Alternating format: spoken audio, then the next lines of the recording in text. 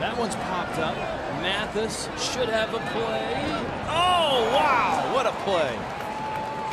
The wind pushing that back. Mathis had to deal with a screen, and there's a plexiglass window on the door and on that ledge right off the on deck circle. See that white thing? That's that leaded weight, too. He had to kind of maneuver around that, deal with the wind. The plexiglass is there, and he has all that catcher's gear on.